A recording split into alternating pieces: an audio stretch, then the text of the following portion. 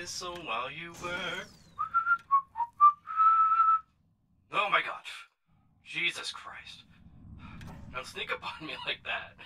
I only have so much air in this suit, and even all of the medical technology in the settled systems can't save me from death.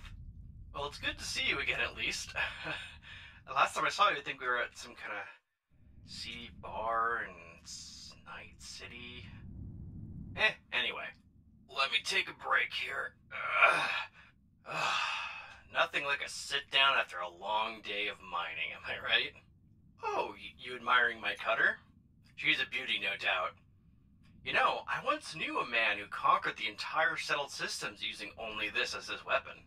Some say he was living life on hard difficulty, where he couldn't use anything but the cutter. No companions, no ships, and certainly no throwables. Well, wi- within reason, obviously. The settled systems, you know, likes to throw curveballs at you, and sometimes you just can't avoid them. While I have you locked in place, uh, let me tell you the tale of our intrepid hero. Isaac Clarke. Why, yes, he is named after the great Isaac Asimov and Arthur C. Clarke. Or, or maybe just the character from Dead Space.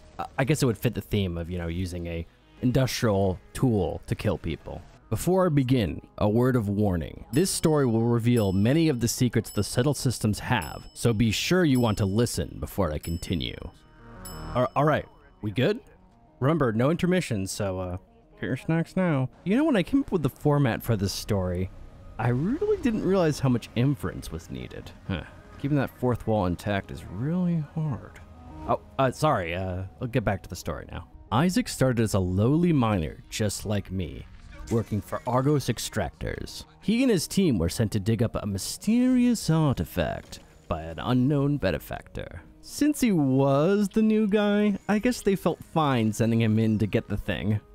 Isaac found the artifact, and upon touching it, he experienced some crazy visions.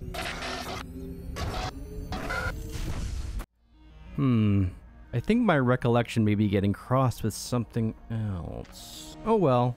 After waking from his artifact mandated nap, Isaac was introduced to the benefactors who wanted the artifact. Oh, yeah, and it, it took him a few attempts to do so. See, the constructors of the settled systems work in mysterious ways. Barrett, a member of the group Constellation, was the one who was sent to collect the artifact. However, upon hearing Isaac's story, he promptly handed over his keys and robot to our green Dusty. But just as Isaac was getting ready to take his new ship, the Frontier, the Crimson Fleet pirates reared their ugly heads, and it was time for him to wield his weapon of choice for the first time.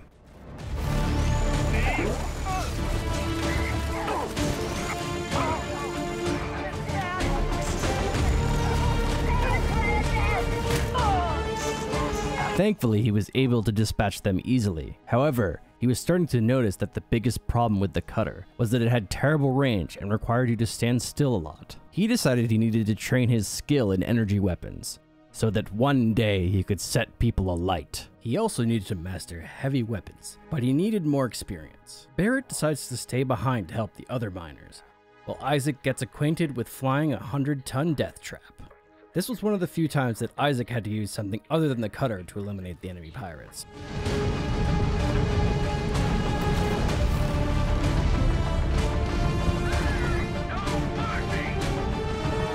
Was lasers, so you could say it's kind of equivalent, but not exactly called a cutter, so, you know. Showing an aptitude for flying, he eliminates them quickly, and then he heads down to the local moon to eliminate their boss. He cuts his way through the pirates, realizing that he will need a lot of medical supplies to get through his adventures.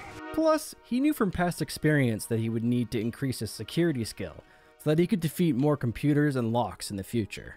He wanted to buff up his persuasion so that hopefully he could finish conflicts with words instead of with the end of a mining laser. He flexed his persuasive skills, calming down the bandit leader without any issues. But then he realized the loot that guy had was pretty juicy, so he decided to turn him and his gang into fruit salad.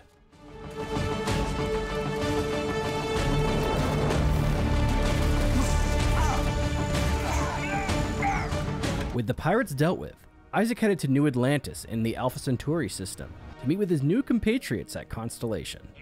He entered Constellation's lodge using a watch that Barrett had given him and meets the crew. Putting together his artifact with their other two, they discover there's something more to them than just coffee table pieces. So, their next goal was to collect more of these relics and try and ascertain their purpose. Sarah, Constellation's leader, had heard rumors of a Vanguard pilot that had acquired one of these artifacts. She suggested they go to Cydonia on Mars for more info, but Isaac had learned from past experience and his intuition that the pilot was last located on an abandoned shipyard above Earth's moon. Sure enough, there was a party going down on that station, and not the nice kind. Leaving Sarah behind to guard the ship, Isaac sped into the station, fighting his way through ecliptic mercenaries and spacers.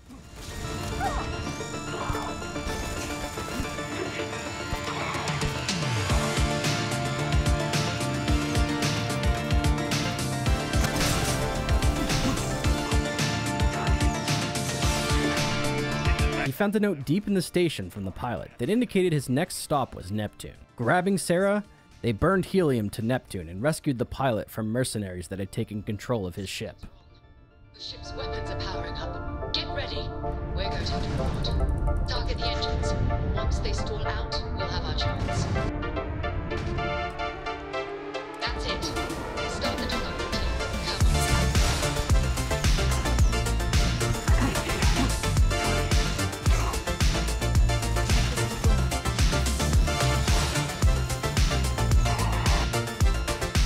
He thanked them by handing over his relic, and they returned to the lodge. With this artifact successfully nestled with its brethren, Isaac decided he needed some real protection if he was going to secure the rest of these rarities. He had heard a tale from an ancient prophet known as Prima's Strategy Guide. that the infamous vigilante, the Mantis, was looking to divest some responsibilities. Of course, Spacers also wanted a piece of the pie, so Isaac had to fight his way through far more experienced enemies.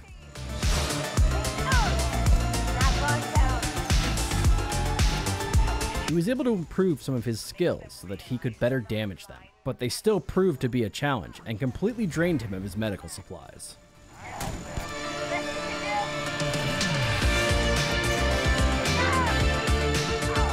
He was at the mercy of the Mantis' legion of deathbots, and well, the Cutter isn't well known for being good against mechanical menaces.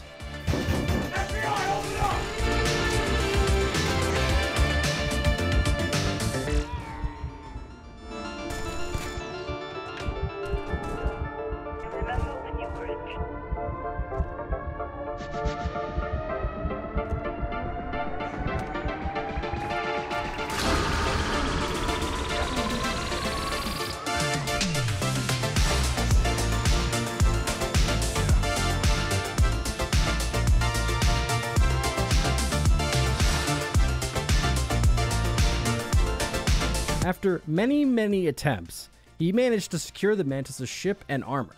Except the armor wasn't as good as some random armor he found, so yeah, kind of a waste. The ship, the Razorleaf, however, was well worth the time, with its strong shields and quick grav drive. It enabled him to escape any non essential space combat, so now it was time to get the band back together and find Barrett. This also came with the bonus of procuring Heller's Cutter, which is the only unique cutter in the settled systems. It was designed to be extra good against robots. Some scholars theorize that it was about 50% more effective than a normal cutter. With this new weapon in hand, Isaac rescued Heller and Barrett from the pirates, avoiding any major bloodshed. He also realized that he needed to make some quick credits to upgrade the Razor Leaf and armor, since he wasn't planning on planting roots on any outpost to store things in. So to earn that scratch, he stopped at the city of Neon, where he was able to sell excess goods and those pesky weapons. Don't want to use those. Oh no, the cutter's where it's at, baby. Pockets full of credit chips? Barrett and Isaac return to the lodge and meet with the rest of Constellation to discuss next steps. So to ascertain the location of the rest of the artifacts, they wanted to talk to Vladimir, the operator of the deep space satellite The Eye. Being a member of Constellation himself, he was all too willing to help. Peering through the eye, Vladimir was able to find two other sites, while Sam Coe tagged along, mentioning that his family may have located one of these relics a long time ago. The first of these sites wasn't guarded at all, so once freed, the artifact plays its song and dance once more. The next artifact led Isaac to the last member of Constellation, Andreja. She unfortunately wouldn't let Isaac boss her around, so he had no choice but to bring her along. Cutting their way through the spacers in the artifact's den, they secured the fourth artifact. Vladimir, the, the circumstances. Freestar Collective Space was next to come a calling, and Sam Coe led Isaac to the Freestar city of Aquila. Here they needed to get something from the bank, but they were filming a Western heist movie, so they had to ask them politely to leave so they could check the safety deposit boxes. Finding that Sam's dad had become a little vindictive, they had to make him see reason and use the Ancestors map to find the empty nest. This is the location that Sam thought that there might be an artifact. However, upon arriving, they found that a local outlaw gang was hiding out there, so it was time for Isaac to mine some blood once again.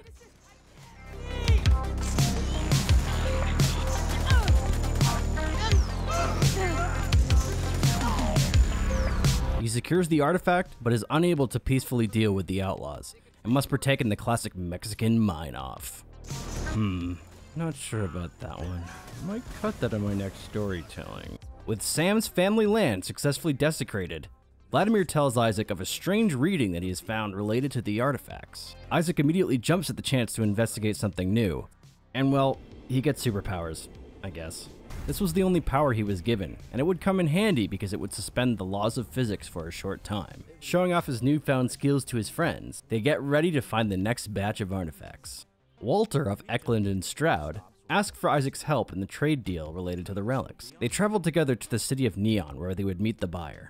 Using their cunning to prepare, they managed to talk the seller down in price and secure the piece. However, Walter didn't do his homework and they found the relic was actually stolen from a prominent businessman in the city. With the ship impounded and a bounty on their heads, the two went to seek out the businessman to try and rectify the situation. But as all things are in the settled systems, business is usually done at the end of a barrel, or in this case, the end of a laser emitter. You know, I'm not really up on how the uh, cutter actually works, but I would guess it's a laser emitter. They attempt to sneak past the guards with the help of Walter's wife, but Isaac is a bit impatient, and well, he fails to make it through without any bloodshed.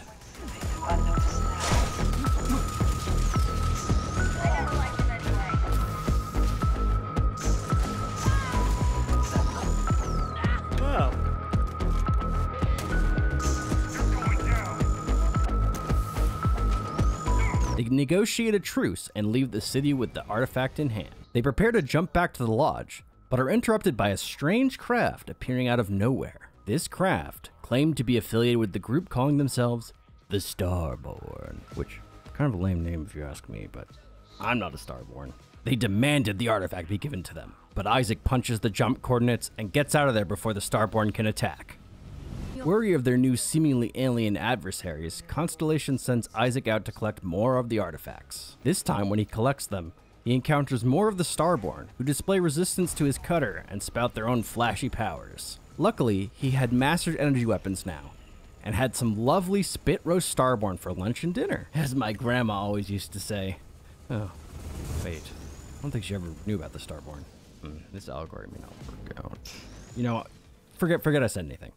Before heading for the next artifact, Vladimir asks Isaac and the others to help patch up the eye so they can better find the artifacts. Everyone chips in, but the eye exam doesn't go so well, and Barrett stays behind to help Vladimir with repairs. The next relic is being held by the Collector, who I would guess just ripped off the Marvel character of the same name, with a way less interesting collection. Like, who cares if you have an ancient fossil when you could have, like, a duck from an alternate dimension where everyone's ducks? And his name's Howard. That's pretty weird. Isaac has Sam stay and guard the ship while he tries to negotiate for the next piece. He had been training his persuasion skill for a moment like this, and he was prepared to slide his silver tongue over the smooth brain of the collector. But of course, it turns out there were a few wrinkles still there, so once again he has to cut his way to the artifact. Man, he's really not good at persuasion.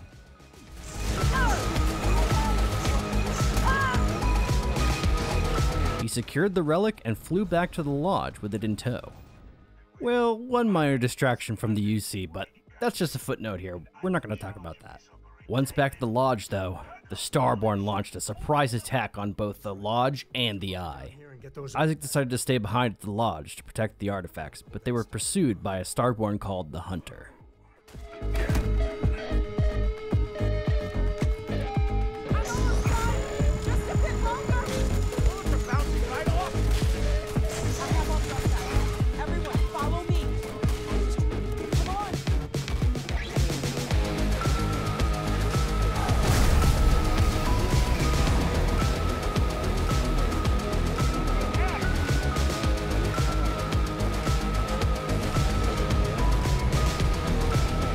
Make it to the spaceport, but at the cost of Barrett's life aboard the Eye. With their hearts heavy, they secure the artifacts aboard the ship and continue the search. Mateo was puzzled over words the hunter had said during the pursuit about something called the Unity. Whatever this was sounded like something he had heard from his local priest. They talk to the priest and learn of a tale about a pilgrim that visited the three biggest religions. Each religion had their own part of the pilgrim's tale, that when put together turns into a map of the stars.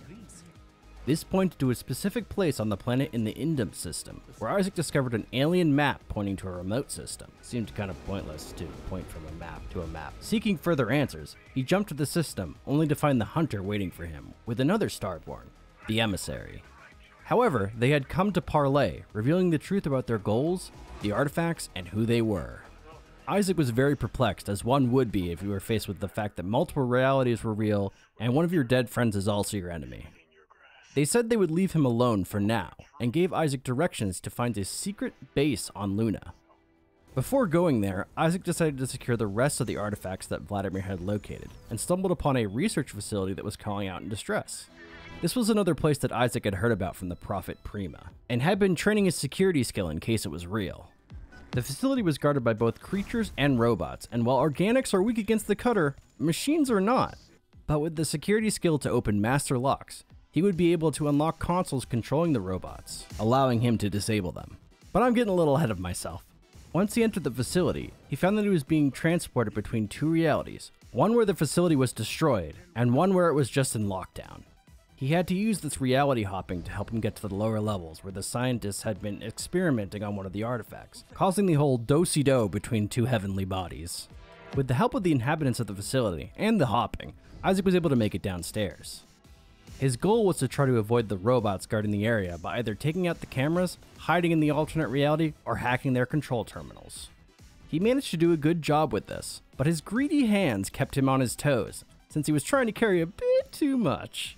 He was able to make it through to the experiment room and use the instructions left by the team to save both universes without much issue. He might have lost a few brain cells from lack of oxygen, but at least the robots were tamed. With the Pokedex complete, Isaac headed to the remote moon base that the emissary had told him about. Because when the people who murdered your good friend put you on the run and had you bring all the objects thereafter to a remote, unsecure location, that's just fine. Fortunately, there was no ambush. Just a mysterious recording about the first grav drive being launched and how NASA secured the data needed for the drive from a mysterious source. And I know what you're going to say. It was an artifact, wasn't it?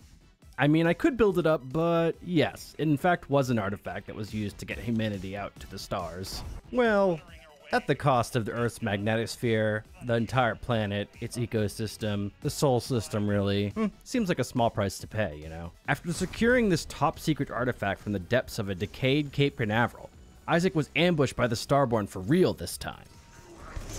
This proved a bit of a challenge. The Starborn still proved to be resistant to the cutter.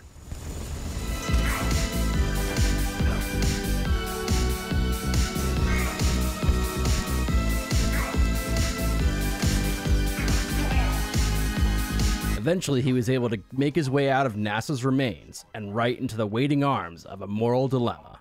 The Starborn demanded he either choose the side of the hunter or the side of the emissary. But he wasn't having any of it. He decided he didn't want to go on either of their sides. Dejected, the two Starborn left, vowing to protect their collection of artifacts from his grasp. Isaac was ready for them, though. Cutter in hand and the experience he'd gained along his journey, he set out to beat both Starborn. I mean, after a quick shopping montage, because he, wanted to make a ship better for, against Starborn ships. You know, they are kind of advanced technology after all. Now we enter the penultimate chapter of Isaac's journey. He jumps into the system where the emissary and the hunter were waiting. A challenging fight between the Razorleaf and the Starborn ships commenced. With their enhanced firepower and shields, Isaac had little that he could do to defeat them. But there was one thing Isaac had over the other two a single brain cell. He used the asteroids as cover, taking pot shots at the enemy until they fled to the planet's surface. He pursued them to a remote ecliptic base, where they had wiped out the platoon of mercenaries stationed there. Isaac gripped his cutter tightly and fought with all his might against the Starborn.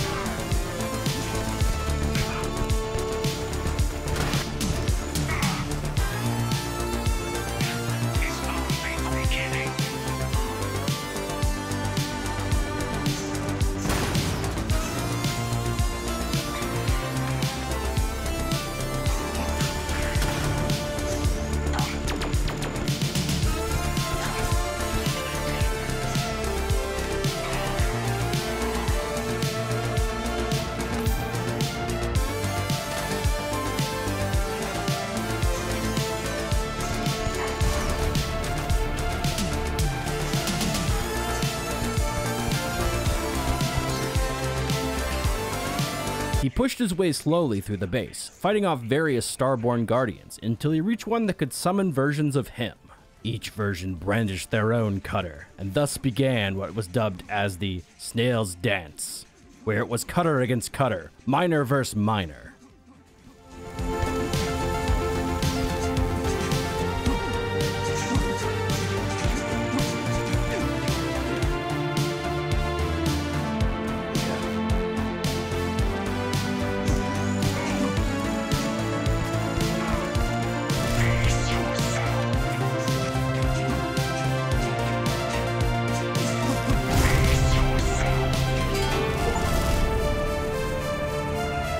Eventually, Isaac was able to best the Starborn creating his brothers and push towards the buried temple where the emissary and hunter were waiting. This led to the last prophecy of Prima. You see, the hunter and the emissary are willing to hear what Isaac has to say, assuming he played his cards right. He had been training his persuasion skill for this very moment. He made sure to craft every word and every sentence with importance, holding against hope to reach the Starborn without having to fight them. Often at the end of a journey, you fight your strongest foes, or at least that's usually how it goes. So if Isaac could avoid fighting them, then he would have very much enjoyed that. However, his last words faltered, and he and the Starborn engaged in a fight to the death.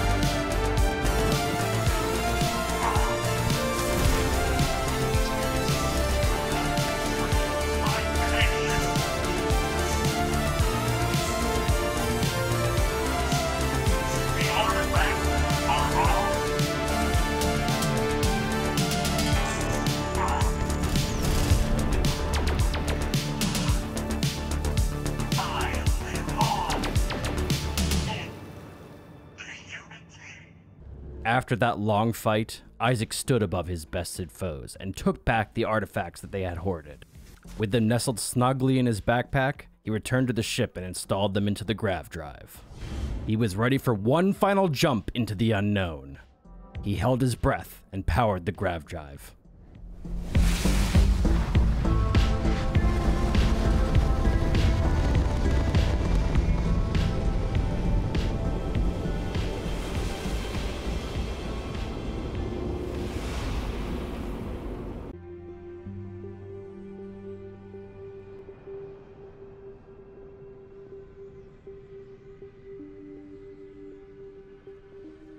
Oh god damn it! It was just Commander Shepard the whole time! Damn it! I totally broke this fourth wall. Why do I suck so bad at making characters?